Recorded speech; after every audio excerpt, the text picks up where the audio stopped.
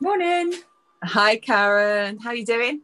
I'm doing really well. Yes, it's sun shining and hair's cut. Uh, Yay! Yeah, thank goodness for that. I can stand up now. It's not so much weight on me. oh, perhaps we should introduce ourselves because I know that we have got more viewers, listeners, however you want to phrase it. Um, so, Karen, who are you? I'm I'm Karen George. Mm. I'm Karen George Art or Trendiori Designs, and I paint um, acrylic landscapes and seascapes with loads of sky normally. Big Sky. Big sky. What about you?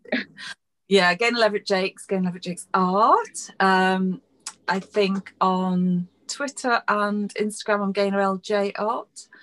Um, and basically, I paint, well, mainly with oils, but I'm kind of transitioning into the acrylic world at the moment.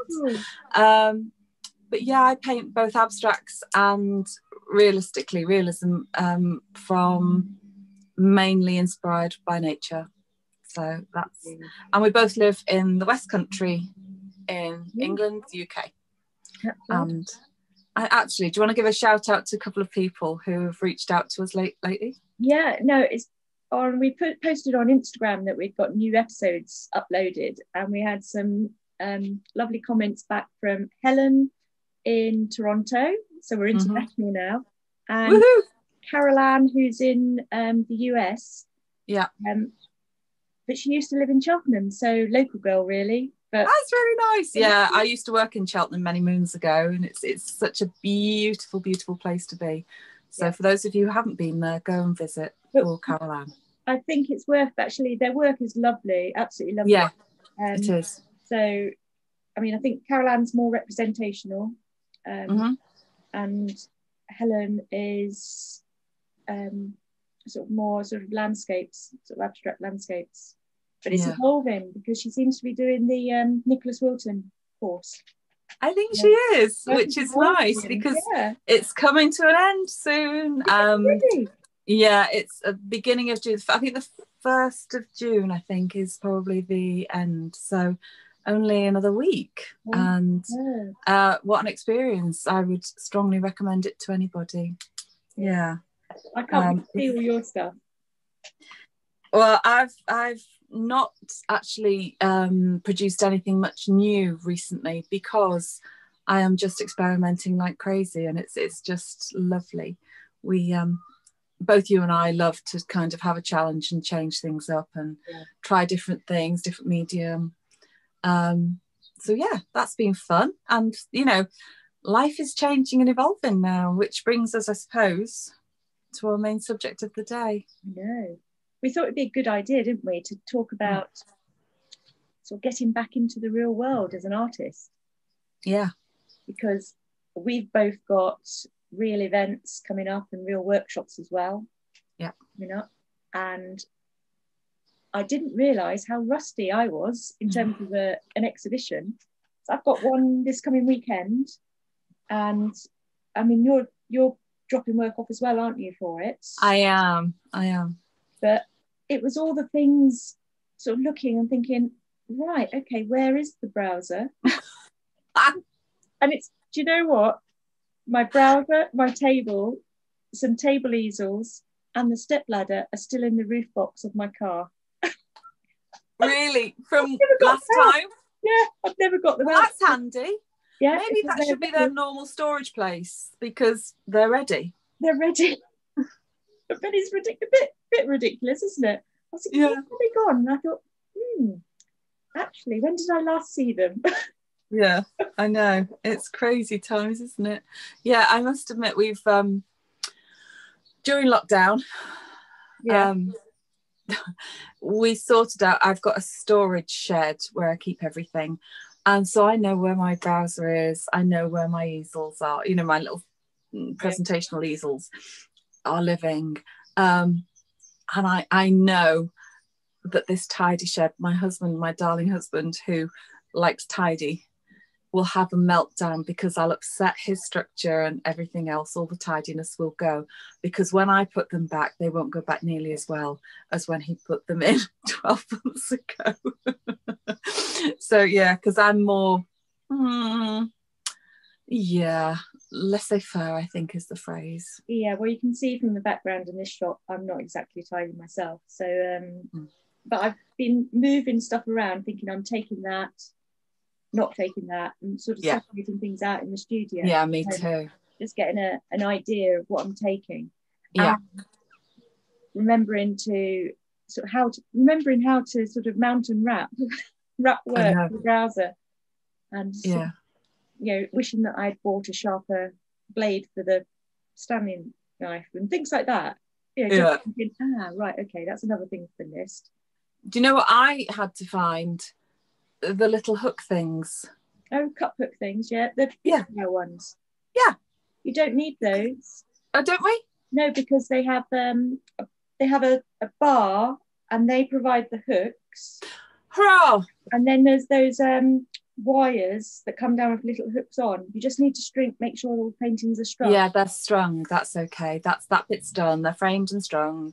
Yeah, no yeah. Maybe we should mention where where our work will be this weekend. Yes it's going to be in westbarn in bradford-on-avon and for those of you who don't live in the uk and don't know bradford-on-avon google it because it is such a picturesque little town. And i will make a confession. I once cycled into the canal in bradford-on-avon true story. You drunk. No I'd forgotten how to ride a bike. So I kind of went down the incline and ended up like that in the bike and literally amongst the reeds and I was hanging onto a barge and this poor lady was having her lunch on her barge and she came in and she said, Are you okay? I was like, I'm fine. I'm fine. and my husband got off his bike, laid our son on the side, He was in a cycle um cycle seat. What, on the back of the bike? Ben was on the back of the bike on a cycle seat at the time. And Steve just kind of took hold of my hands and pulled me upright, and the bike was still in between my legs. I was like, Yeah, I'm not doing this. I'd forgotten how to ride a bike. And that was the last time I went on a bicycle. Oh, um, but it is beautiful, and I walk around Bradford Avon frequently, yeah. but I will never cycle it again. So, yeah, so just along from the canal, we'll be at Westbarn. Yeah, and it's it's lovely because it's right just across from the Tithe Barn, which it is, beautiful. beautiful. structure. I mean, real mm. worth a, a, visit. And there's mm. lots of um, sort of little cafes and mm. really good walking, sort of along the yeah. river and then back along the canal. It's really beautiful. And then you can come in and see us. There's five of us yeah. going. So there's um, Kate Westcott, yeah, organising it her actually the wire work that she's doing at the moment is breathtaking. I know. And if you're on Instagram, go and have a look at Kate, Kate Westcott's work. Yeah, she what Kate Westcott three, I think, on Instagram, something like that. Yeah. And um, just trying to think. And then there's Anne, Andrew Edelston and mm-hmm. uh, Nat, Natty Deco. Yeah. Which um, I think does laser cut sort of wood pieces. And then obviously our friend Gina yeah. who probably regular viewers or listeners will know Gina because um, she pops up frequently in our chats because she's one of our um, Monday morning calls for our accountability calls every week. Which, yeah. you know, if you haven't seen or listened to previous episodes, go back because actually they're really useful things to do with your colleagues. Anyway, so accountability call today effectively is how the heck do we prepare for this? Well, I've been thinking, I've been trying to, I mean, I've got the benefit that I know there's the venue. Mm-hmm. I know there's a bit more space than we thought because now, rather than having a sales table, I believe that we're all taking our own money. Um, okay.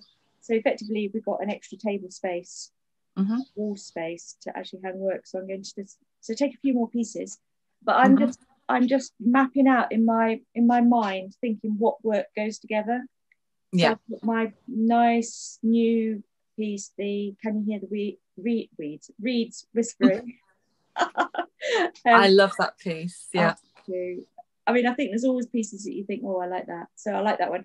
And then I've got pieces that I'm going to try and try and almost have a, a cohesive group of paintings color wise. Yeah. So I'm bringing in, I've got sort of smaller pieces that are of the same palette.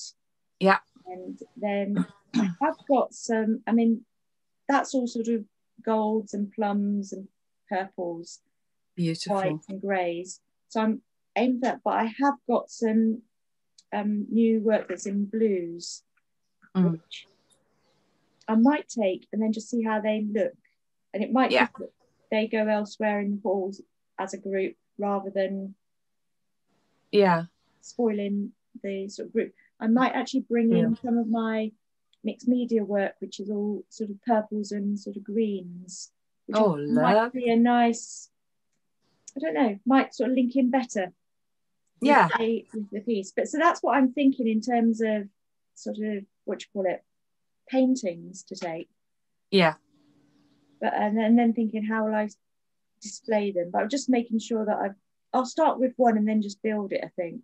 Sort of thing. Yeah work that work yeah i mean i think that's what i, I aim to do because obviously i'll be setting up and and um, putting stuff around because you know yeah real life has hit hard recently in family wise and um, so trying to balance caring for people and carry on with working meant that my beautiful artist friends and colleagues are going to support my work while it's in the barn um, so i'm going to bring it and set up and I'm going to. Be, I'm going to be your cash till.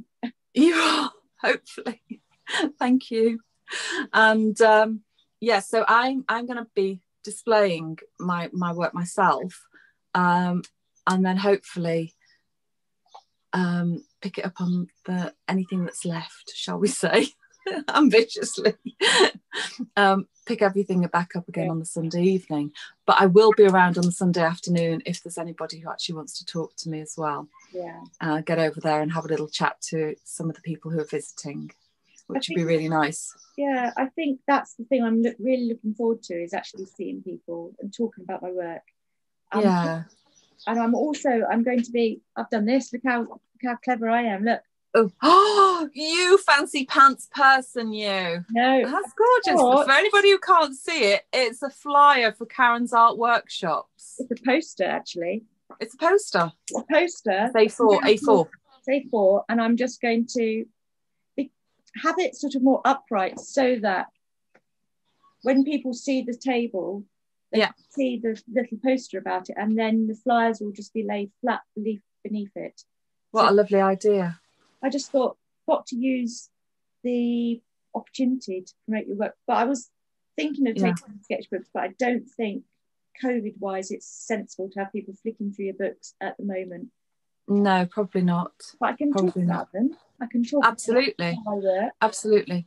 I was actually going to say something about your workshops as well.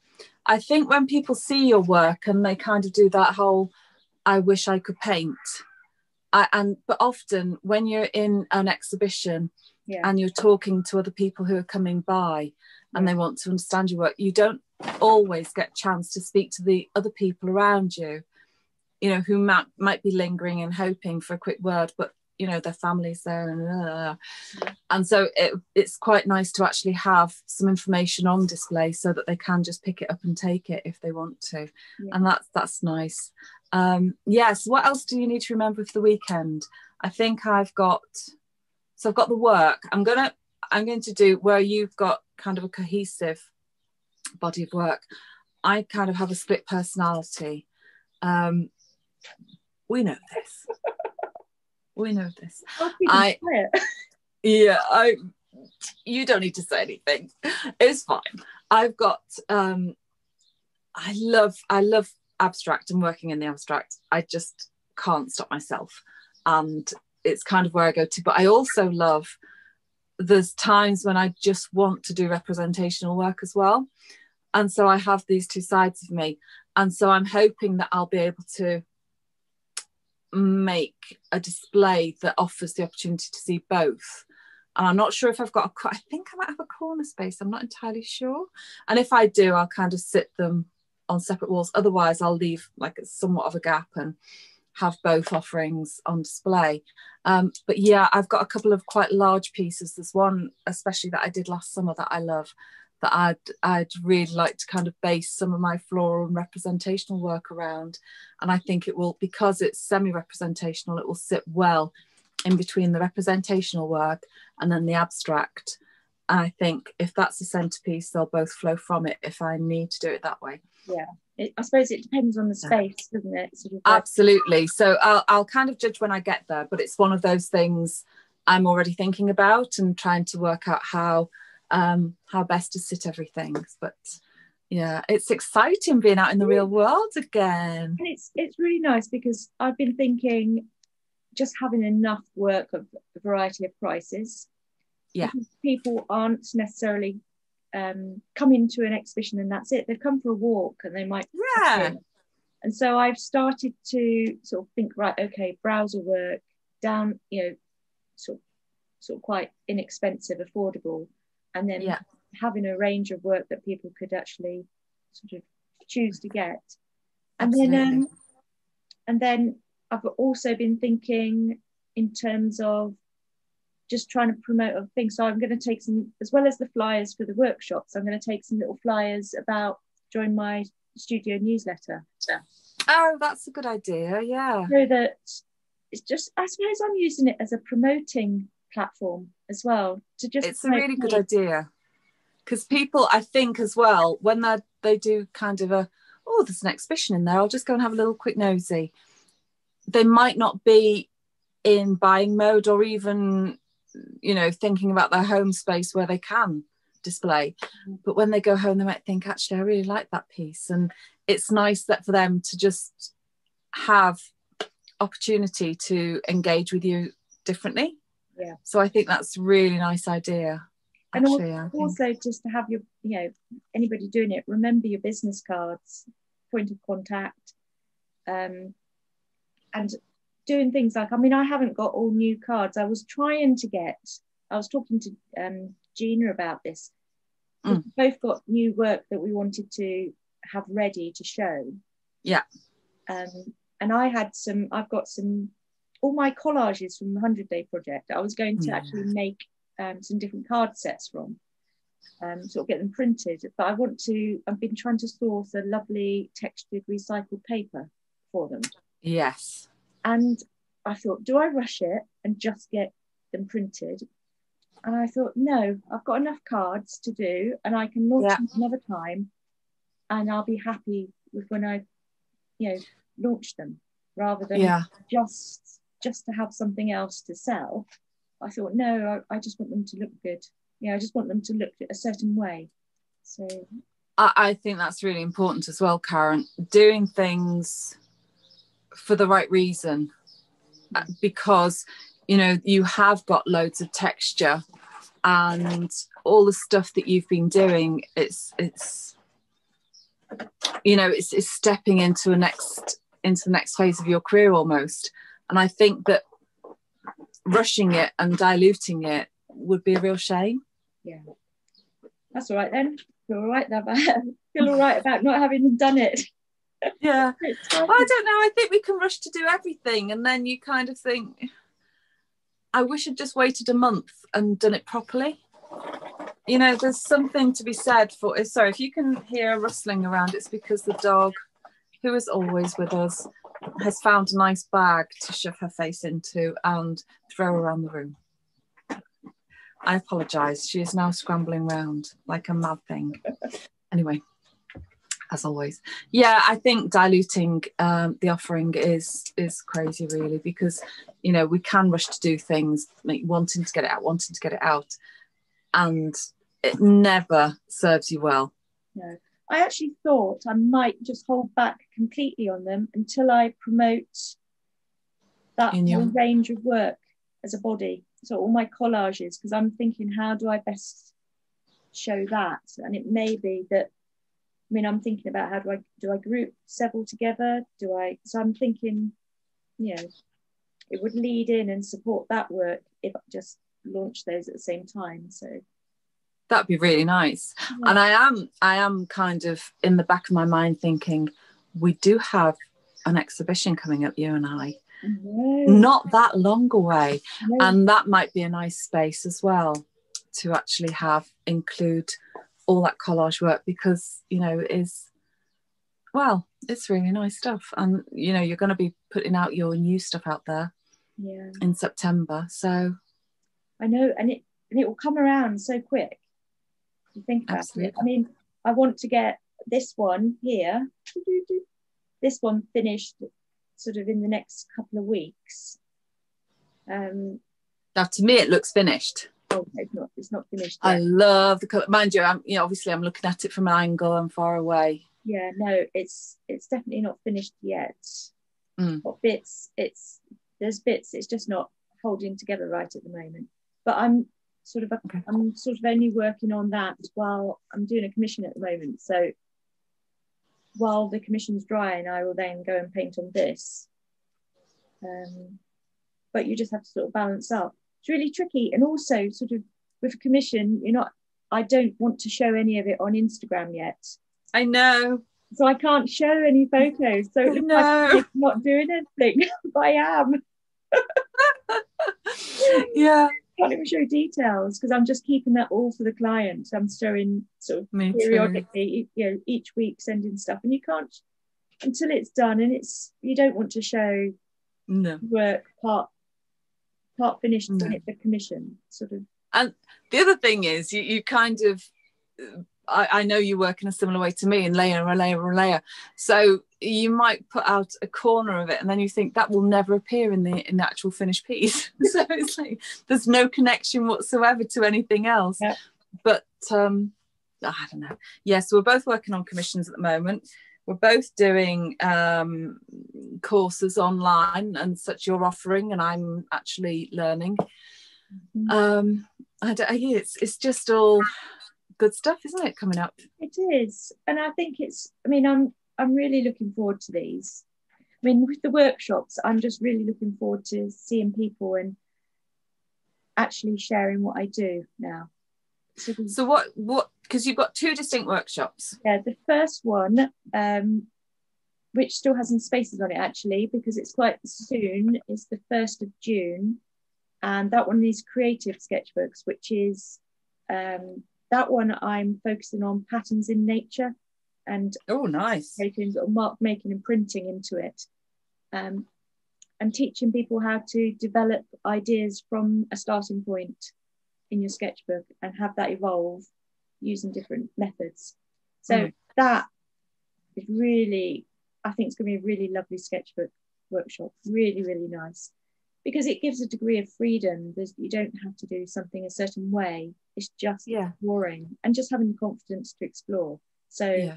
that I think would be really useful. The next one, middle of June, that is a sketchbooks to paintings workshop.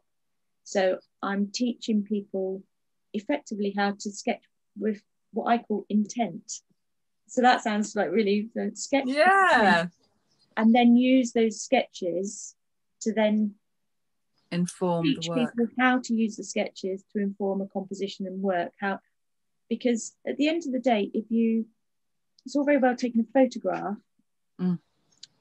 but when i when i paint i paint from the feelings a sketch yeah me too evokes and i mm. think that really is the the bit if you teach people okay, how to, to capture that feeling mm. and then how to maybe develop that but mm. still retain that feeling, I think then they can go and create whatever work they want.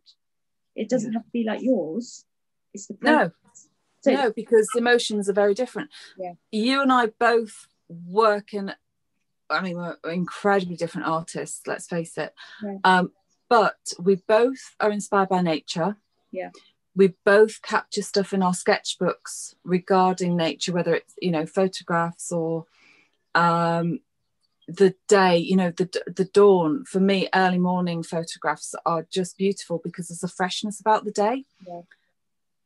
and then we both use that to inspire our work but you wouldn't necessarily see the sketches or the photographs or whatever we've done in our work yeah. you know you wouldn't necessarily see that represented but the emotion it evokes that's what we both try to capture in our work and so yes we're very different and yet there are some processes that you know we, we are kindred spirits in that way that we both work from nature and i can understand i mean I, I almost feel that if there was somebody starting out who didn't know have experience in working with a sketchbook it almost flows from one to the other you know that whole kind of i can do the sketchbook work and take the inspiration and then how i translate it into a painting to a finished piece. Because you know i see some people who have done the most beautiful representational work. Mm. and it's fabulous absolutely gorgeous but it's got no soul. Or it's got no emotion to it but it represents perfectly whatever it was they saw. But there isn't necessarily that depth and that you know they aren't in the painting. And i think that's a very precious thing to learn is how to put your heart into a painting rather than just show a painting you know just kind of paint. So i think that both of those workshops would really speak to me really speak to me. So i, I hope well i know that people get value because I've, I've watched you teach and it's it's just a lovely you know you like you are now. You're just very very sweet and gently guiding people to, to do their own thing. I know you're blushing and you're nearly the same color as your top oh, dear. which for those people who are listening and not watching is bright red.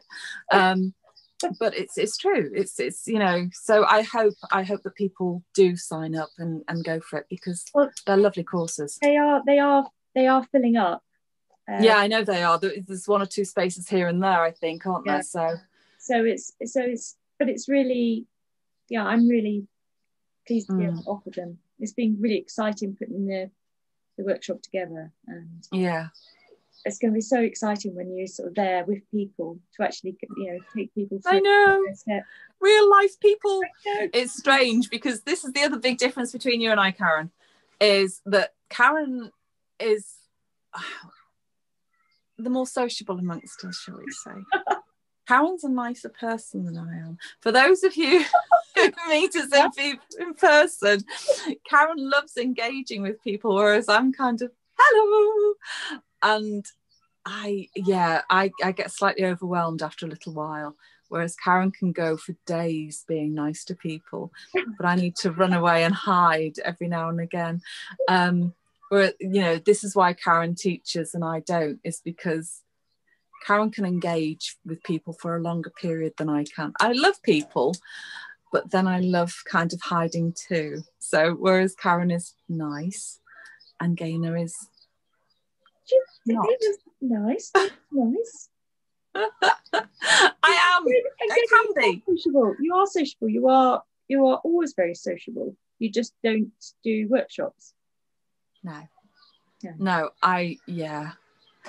I don't, maybe it's a confidence thing. I don't know. Anyway, we'll analyse that one another day. But I am very much looking forward, and it's quite close to me. You're going to be actually located in your workshops in Stanton St Quintin, which again is a lovely village in Wiltshire, and I know exactly where you are, and I'm going to visit because it's only ten minutes from me.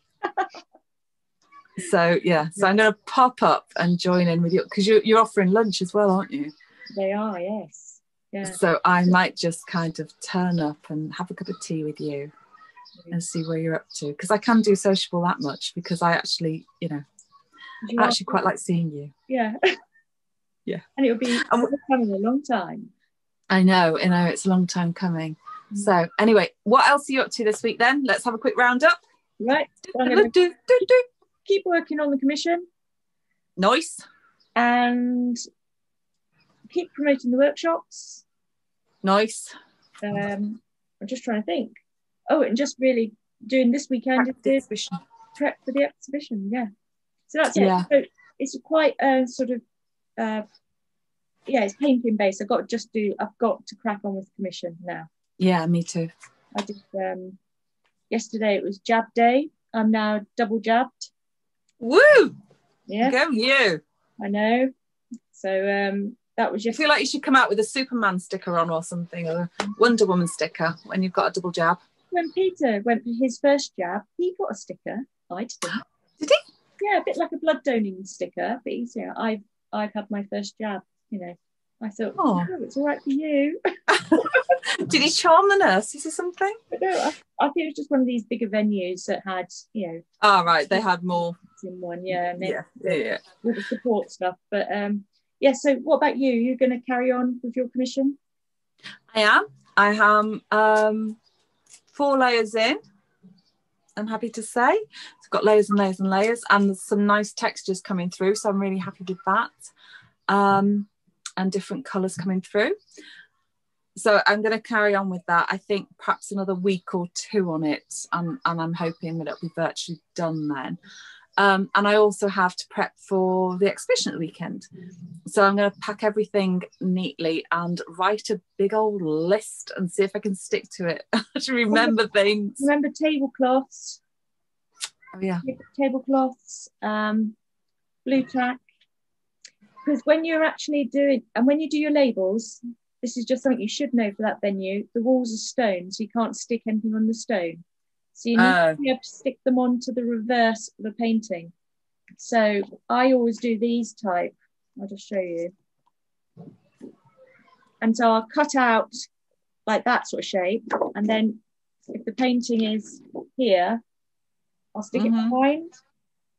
Like ah, so it sits underneath. It's underneath. Nice. Otherwise, they drop a bit. If you do it from just a little bit, they drop, sort of get all a bit cockeyed, you know, cockeyed.